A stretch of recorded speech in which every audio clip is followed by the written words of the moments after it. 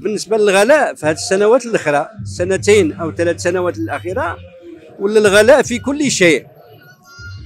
ماشي غير في دابا مشيتي للخضر ولا الفواكه ولا لا في المعيشة ديال الإنسان الغلاء.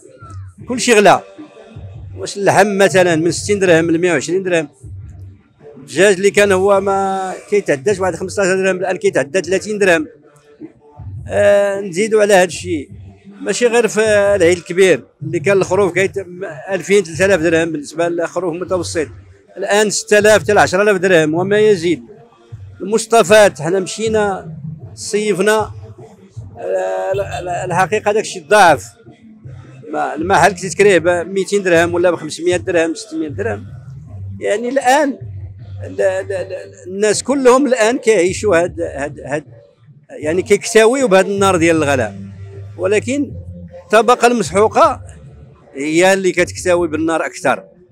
ودابا مع كامل الأسف كنشوفوا الآن ما بقى لا لا لا طبقة متوسطة ولا طبقة فريقه يعني بقات واحد الطبقة اللي هي الفوق وطبقة اللي هي لتحت راك وهذا الشيء طبعا خاص المسؤولين يداركوا إلا كان عندهم شي حس.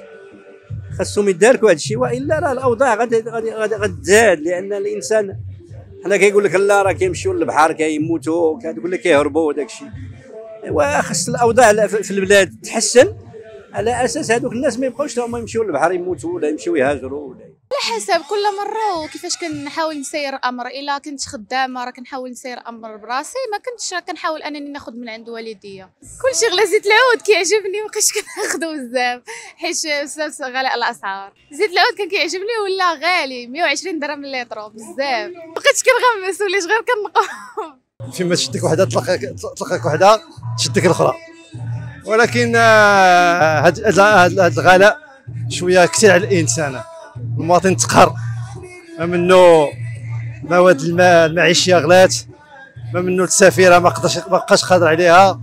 ما منه العيد اللي غلا الثمن كل شيء طالع الثمن الله يحسن على المواطن. الدخول المدرسي surtout ال privé اثمنه راك عارفها. اثمنه طالعة واحد الدرجة. الله يصوب الإنسان وصافي كنكافحوا صافي كنكافحوا كن bricoler يو شوية نبيعوا ونشريو شوية هكا كندبروا مع الوقت وصافي. شي ما عرفنا فين غادي إلا بقات هذا الشيء هذا غادي هنا لقدام راه غادي يتحاك الإنسان. فهمتي؟ هذا الشيء كان غادي غادي هذا الشيء غادي في هذا النمط هذا القضية راه واعرة. فهمتي؟ آه إلا صبات شي شيء يمكن إلا تتصاوب الوقت إن شاء الله. يمكن. فهمتي؟ نطلبوا من الله الفرج. حنا بغينا زعما شي حكومة تكون مزيانة اللي تهزها من الدرويش. أما اللي عنده راه ما ضرب حساب الوالو. فهمتي؟ بنادم اللي ما عندوش راه هو اللي محاك الحكومة خصها تراعي الدرويش فهمتي؟ أما دابا اللي عنده راه ما كيضرب حساب حتى حاجة. ونطلبوا من الله عز وجل أنه يدير شي تاويل وصافي.